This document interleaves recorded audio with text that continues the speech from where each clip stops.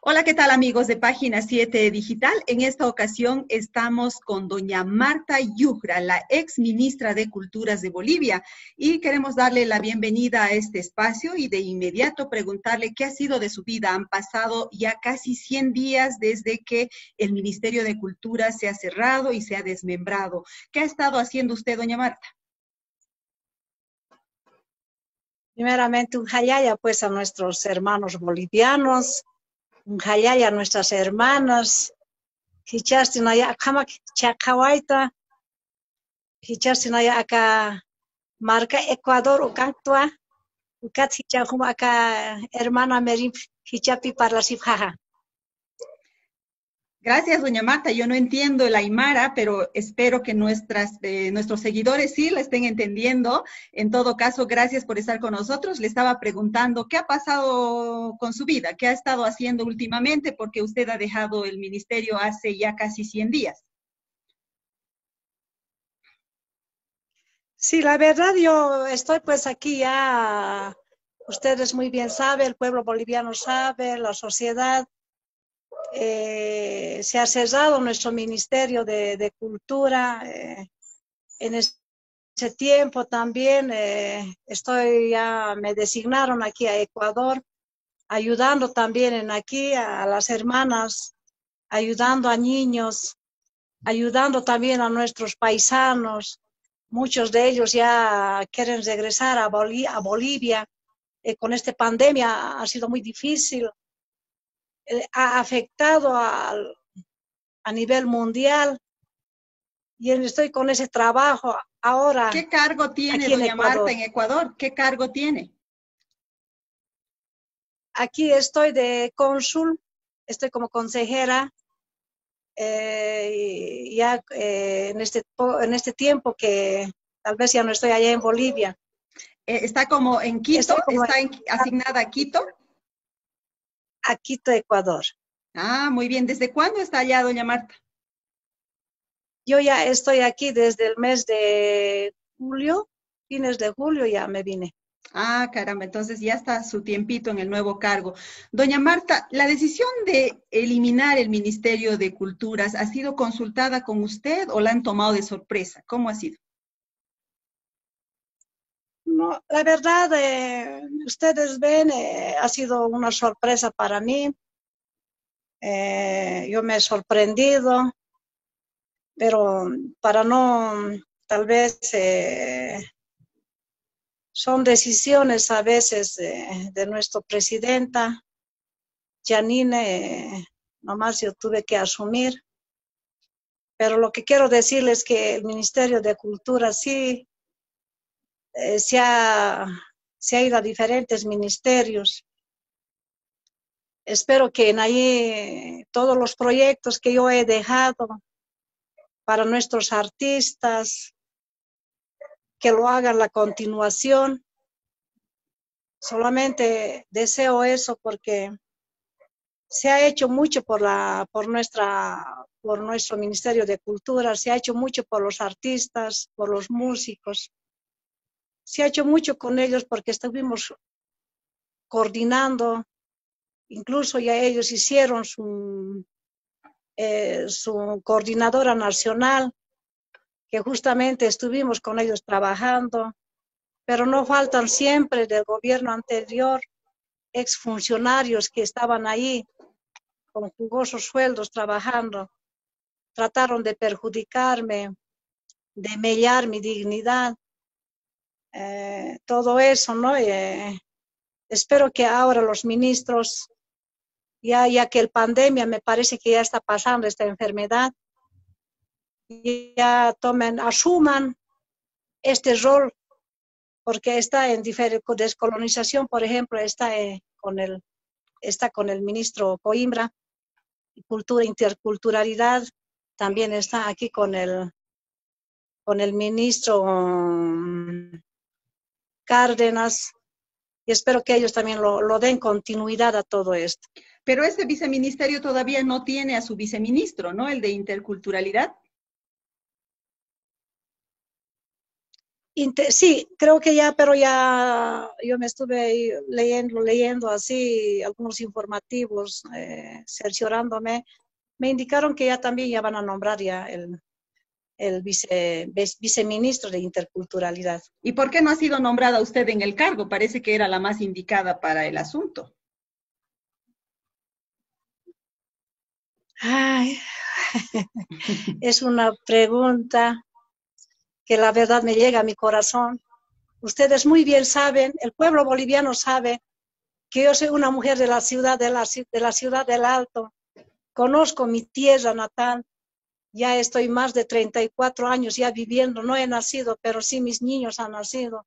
Mis nietos viven allá. He representado y con mucho orgullo les digo que la invitación lo hizo la presidente Janine. Ella mujer, madre, yo mujer, madre, abuela, no sé, razones deben tener por qué no he dado mi continuidad. También no, no sé si es el momento para decir, cuando yo estuve, eh, quiero ser sincera con mi ciudad, con mi pueblo boliviano, cuando estaba como delegada en la ciudad del Alto, en esta, en esta enfermedad, eh, pandemia, la coronavirus, ustedes han visto, yo lo he, peleado, lo he luchado, lo he dado alma, vida, corazón, pero no ha faltado políticos que viven de la política. Ellos ya han visto una sombra en mí, en la ciudad del Alto. ¿Quiénes, doña Marta? ¿Quiénes, Díganos quiénes. Imagínense. ¿Quiénes están en allá gobernando pues, actualmente, ¿no? En la, en, la, en la ciudad del Alto. Yo ya les he hecho sombra. Por no dañar tal vez a mi presidente, tuve que dar un paso al costado.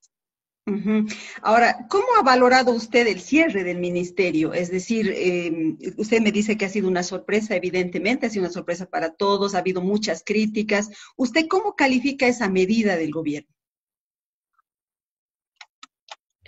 Yo la verdad, lo único que quiero decirles es que actualmente ya, ya, ya pasando esta, esta, esta pandemia que ha golpeado a todo el mundo, ha golpeado a los músicos, ha golpeado a los, a los, eh, ¿cómo te puedo decirte? A, los turistas, ha golpeado a, los, a todos, a, a, nivel mundial.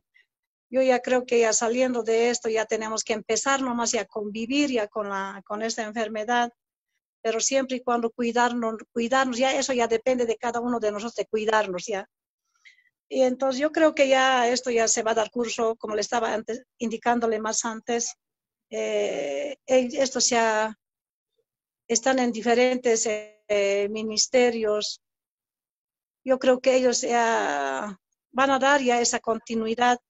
Tal vez ellos no lo han hecho a su debido tiempo porque también todos estábamos cuidando la salud de nuestro pueblo boliviano, estamos cuidando también eh, la vida ¿no? de, muchos bolivianos, más que todos los ministros se han dedicado en eso. Ahora ya que está ya un poco ya calmado y todo eso, ya espero que esto ya den una continuidad. Solamente ¿Usted, ¿usted quisiera que se restituya el Ministerio de Culturas otra vez? Sí. Lo digo con así con sí quiero que vuelva, quisiera que vuelva, no necesito estar yo allí, pero lo que debería de fusionarse es Ministerio de, Deportes, debería de estar en el Ministerio de Cultura, eso sí debería de ser así, pero son decisiones a veces de, desde arriba y no, yo soy una mujer de pollera, humilde, una mujer eh, indígena, eh, la verdad, ustedes saben, yo he entrado por primera vez, estoy conociendo recién esos lugares. Para mí ha sido un orgullo estar en esos, en esos, conocer. Lo he palpado en carne propia, sé cómo había sido. Entonces ya en las próximas yo creo que ya, si alguna vez, si alguien me vuelve a invitar, no sé, Dios mediante, sí lo voy a hacer con mucha fuerza mucha razón. Doña Marta, eh, usted decía, en mi gestión se ha hecho mucho por los artistas, se los ha apoyado. Sin embargo, hemos visto a los artistas protestando durante su gestión por falta de apoyo del ministerio. Eh, ¿A qué se ha debido eso, doña Marta? ¿Qué ha faltado para apoyar eh, de manera más contundente a los artistas? Eso es lo que le estaba indicando Mericita. Esto es lo que ha pasado ya anteriores del anterior gobierno había funcionarios, funcionarios incluso que habían sido representantes de músicos, que funcionarios que habían sido representantes de, los artistas. ¿Pueden nombrar a esos artistas y esos músicos que tenían sus, representantes en el ministerio? ¿Quiénes eran? Le voy a dar, le voy a dar su nombre, pero eso des, despuésito nomás también. le voy a dar el nombre. Pero eso, eso es lo que hicieron siempre nunca van a estar de acuerdo pues conmigo, nunca van a estar de acuerdo, porque a ellos ya, ya les he retirado, les he retirado porque no han hecho nada por nuestro, el anterior gobierno no ha hecho nada por los artistas, ni ellos mismos no han hecho nada y trabajando con jugosos sueldos en ahí. Y nomás tienen que nomás hablar mal de mí, tienen que nomás tratar de perjudicarme. ¿Quiénes eran esos funcionarios, doña Marta, ahora que estamos grabando para que todos lo escuchen? A su debido tiempo le voy a dar el nombre. Le voy a dar, voy a buscar y ya, tú sabes, también se me olvida, pues se me va, pero ya tengo. ¿Qué se le va a olvidar un dato tan importante, doña Marta? Pero bueno, mire, también ha habido quejas incluso de canastas miserables, así le han llamado ellos, con víveres baratos, ¿no? Incluso han hablado de robo. ¿Qué ha pasado realmente en ese caso, doña Marta? En ese, en ese lugar nos dio como, como ministra de Culturas, tenemos tres viceministros. En los tres viceministros, mi viceministro, ex viceministro Oscar García, y con el equipo que tiene, se ha hecho esto de buena fe. han, colaborado eh, las empresas, incluso ha colaborado los artistas, de, es decir, las, eh, como se dice, los folcloristas de, de, gran poder. Se ha recogido lo que se puede. Si alguien te regala, tú lo tienes que recibir. A caballo regalado no se mira los dientes. Son bienvenidos. Cualquier cosa. Si te dan una galleta, un yogur, es bienvenido. Y eso nosotros tenemos que repartir. Eso sí, yo quiero decir, no se ha comprado con nuestro dinero nada son regalados, que ellos nos han donado. Entonces nosotros hemos repartido lo que se tiene. Eso no, no lo ha hecho tampoco Marta Yugra, porque yo no tenía ni tiempo para ir a ver. Hay comisiones, que esa comisión lo hacemos con transparencia.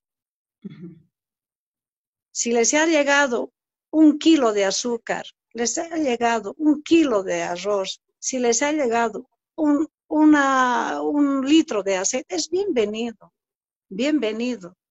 Porque yo también, yo vengo de, ahí, desde ahí, yo sé cocinarme en Jerry, yo sé cómo se cocina en Jericito. Y entonces, para yo, yo gustosamente me hubiera recibido, todo es bienvenido. A no ser que yo hubiera agarrado el dinero de ellos, hubiéramos hecho comprar, ah, sí, tienen toda la razón de, de decir, nuestra plata se lo ha gastado. Nuestra plata se lo ha utilizado. Con mucho gusto, pueden decir. Pero han visto, la presidente no ha comprado ningún, ni, ni siquiera ha hecho ni un canasto. Ella ha dado en efectivo y ha habido una transparencia. Ha dado en dinero. Y no solamente ella, sino sus ministros que están a cargo de, de todo esto. Entonces, lo mismo sucede en el MIN. Si todas estas donaciones que se han recogido gracias a los funcionarios que, estaban trabajando aquí en Intercultural, gracias al, vice, al viceministro eh, eh, Oscar García, gracias a mi ex viceministra, a la Caterín, se ha conseguido, se ha conseguido y se ha dado a, a, lo que a donde ha alcanzado, ¿no? Eso es lo que se ha hecho. Entonces usted dice son donaciones y deberían nomás aceptar porque al caballo regalado no se le mide el diente. Así es. Doña Marta, eh, ¿Cuántos premios nacionales y fondos han quedado sin pagarse durante su gestión? Porque muchos no se han pagado, ¿verdad? Que no se han pagado. Lo que quiero decirles, yo he entrado en mes de, en mes de noviembre, vino, vino ya eh, diciembre, ya vino la pandemia. Que todos ya entremos en cuarentena, que todos ya no estaban trabajando hubiera sido lindo que sí se hubiera hecho, eh, ya que no hubiese habido esta pandemia, no se hubiera hecho gestión con mucha razón. Ya vino la pandemia, nosotros eh, no se ha hecho nada de, digamos, de algunas actividades grandes que se diga eh, para poder endeudarnos. Sí, de la anterior gestión hay mucha deuda, bastante deuda que nos se han dejado con una deuda grande. ¿Cuánto es la deuda? ¿Cuánto es la deuda de antes y la de usted?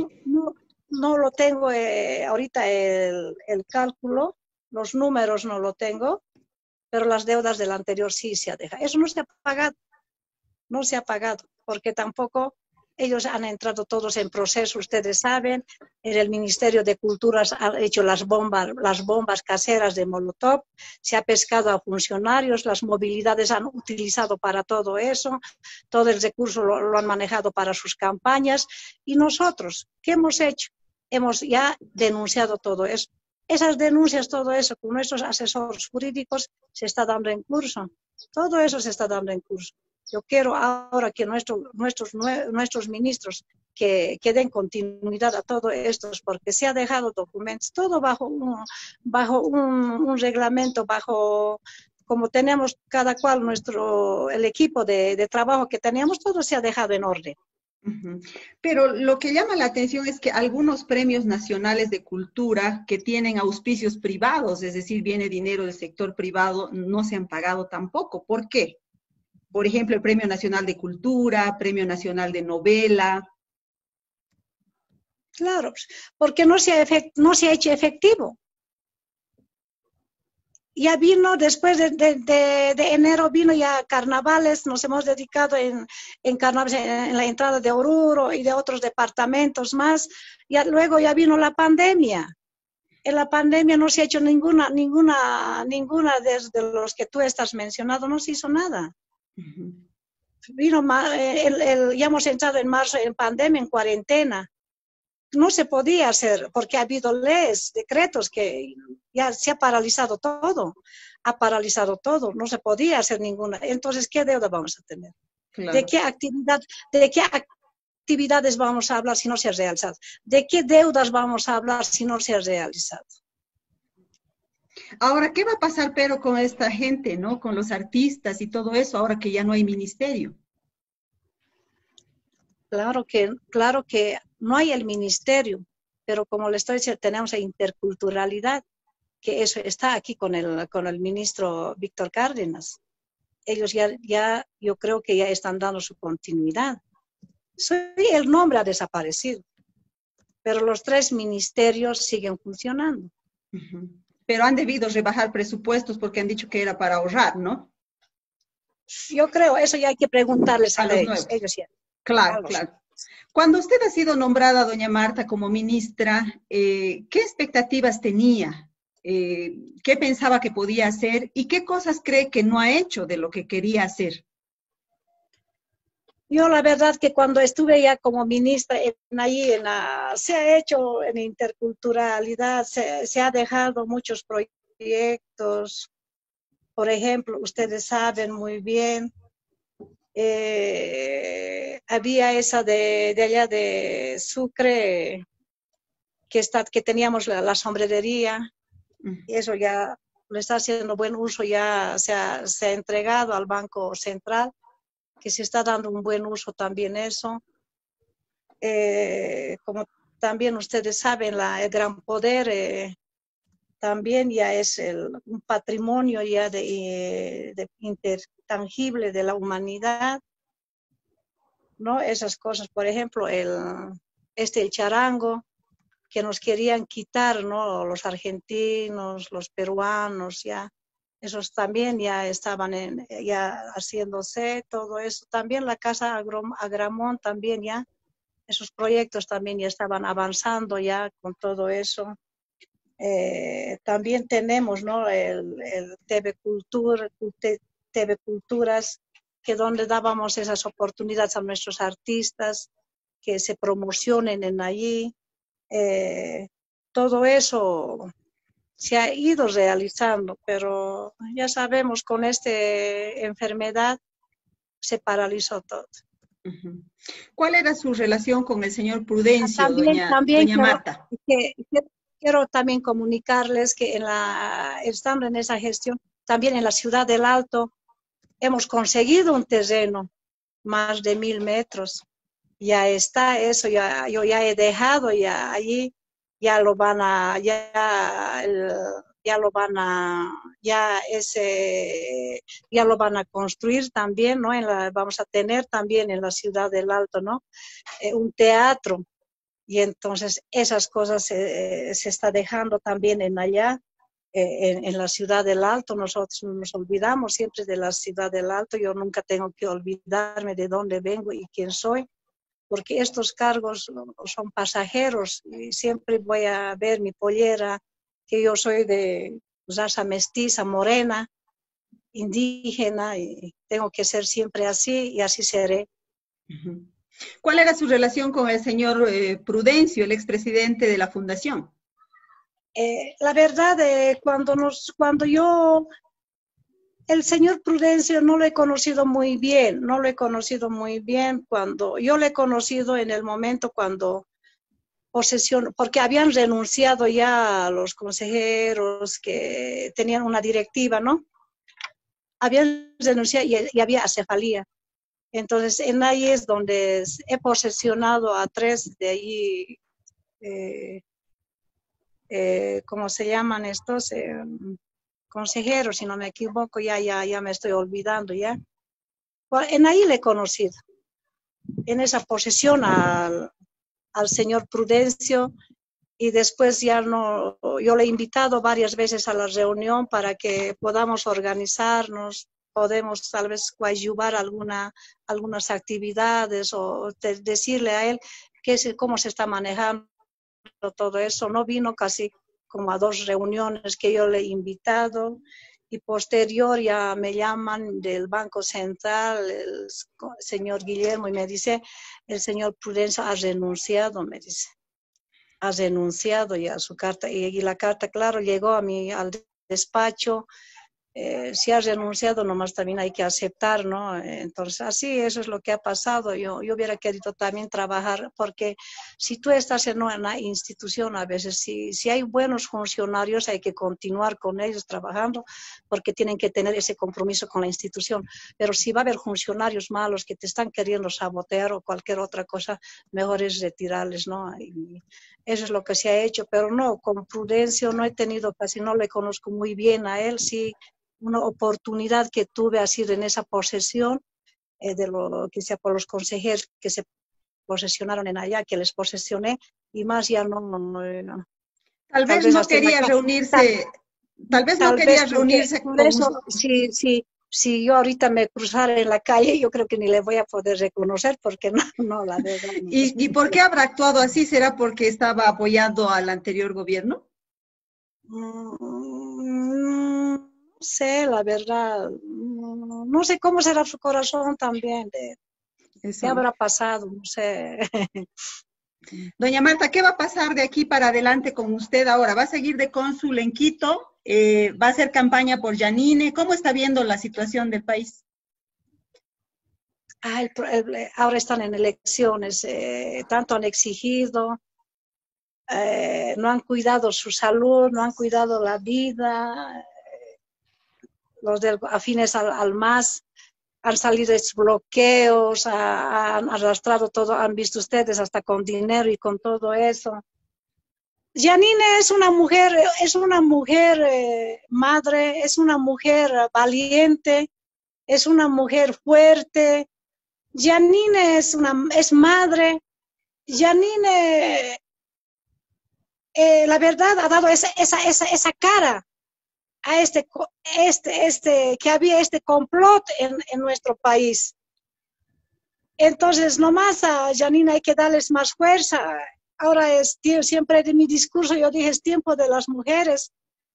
Ahora yo estoy de acuerdo sumamente con todo eso. Solamente hay que ver a Janine que no, yo no quisiera que Janine también se acuerde de, de, ella es como mamá que está en allá. Una madre tiene que ver a, de todo lado a sus hijos. No tiene que decir, este es morenito, no, no, no, este es blanconcito, no. Sino tiene que ella abrazar a todos, tiene que escuchar a todos y ella va a seguir adelante así, con ese entusiasmo, darle más fuerza, que siga adelante, pero ella que vea, que no se haga no engañar con la gente o que le diga no todo está bien está no ella tiene que salir a la calle y decir si está bien o no está bien o está mal porque a veces sucede esas cosas. Lo que pasa es que los partidos que están en contra del MAS son muchos y el voto se está dispersando. ¿Usted no tiene miedo de que vuelva el MAS por eso? Lo que pasa es que está Mesa, está Yanín, está eh, también eh, Camacho. Eh, como están así tantos, ¿no cree que vaya a volver el MAS? La verdad, Mary, ¿usted tiene miedo a Evo Morales? no, pues yo soy la que entrevista a doña Marta. no me va a entrevistar usted, ¿no ve? no, pero también tengo que preguntarle, Mericita. No, no, no, no. Lo que importa es su opinión, no la mía. Sabes, Mary, nosotros no lo tenemos miedo. ¿Por qué lo vamos a tener miedo? Él es un hombre, es una persona. Él es de carne y hueso. Él no es inmortal. Él, eh, la vida es, no es comprada, la vida es prestada. Todo lo que se hace aquí en la tierra, un día vamos a dar cuenta allá arriba. Cada persona va a dar cuenta. Así que vuelva o no vuelva, pero no vamos a permitir que él vuelva a ser gobierno. No vamos a permitir. Ahora más que nunca tenemos que unirnos todos los opositores, todos, Piensen, señores candidatos, unámonos todos. No vamos a permitir que este señor regrese a gobernarnos. No. Pero para que se unan, doña Marta, para que se unan, algunos tienen que dejar de ser candidatos. Algunos tienen que dejar de ser candidatos para que se unan. ¿Quiénes deberían dejar de ser candidatos, doña Marta? Dejar eso. tienen que dejar, ya pues ya toque, piensen, ya tóquense el corazón. Únanse todos los hemos marchado. ¿Cuántas veces hemos bajado? Han visto huelga de hambre a, a Baroa. He entrado el primero de enero. ¿Qué día me han sacado? El 20 de enero no me acuerdo cómo me han sacado. En esa huelga de hambre que estuve como coordenadora central contestataria. Esta mujer ha entrado para que se vaya y no vaya, no, no tenemos que permitir que se Muy bien, doña Marta. Se está ya cortando. Tienen que valorar la democracia. Hoy por hoy ya lo hemos ya lo tenemos. Doña Marta, se me está cortando un poco el internet, parece que está fallando. Así es que aquí vamos a terminar la charla. Muchas gracias por la entrevista y vamos a estar en contacto en otra ocasión. Jayaya, pues Jayaya, Bolivia. Bueno, que le vaya bien, doña Marta. Gracias.